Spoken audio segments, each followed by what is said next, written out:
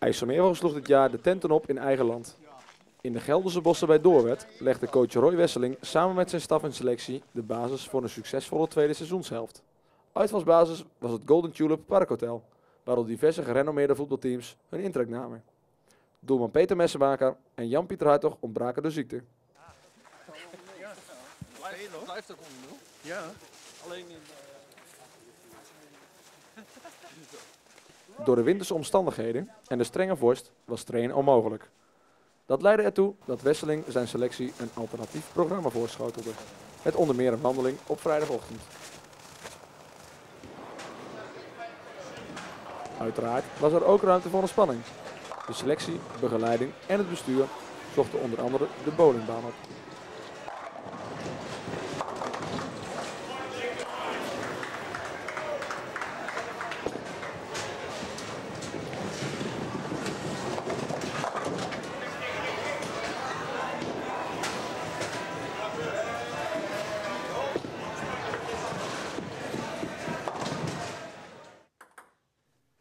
In het hotel vermaakten spelers zich met een potje tafeltennis en het PlayStation-spel Pro Evolution Soccer.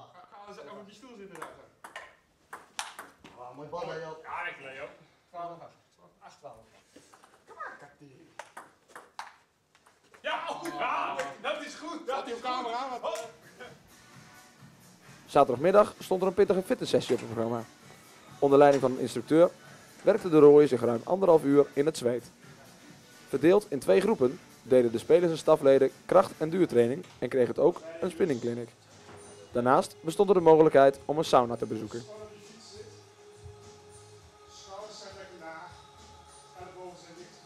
Tijdens het trainingskamp voerde de technische commissie gesprekken met alle aanwezige spelers.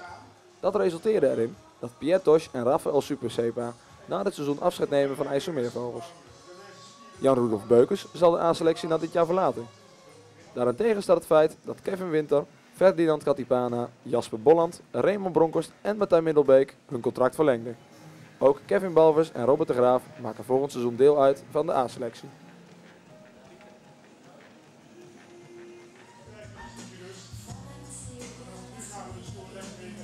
Het trainingskamp eindigde zaterdagavond na het diner.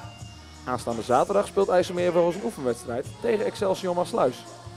Het duel wordt gespeeld op Sportpark de Westmaat en begint om 3 uur.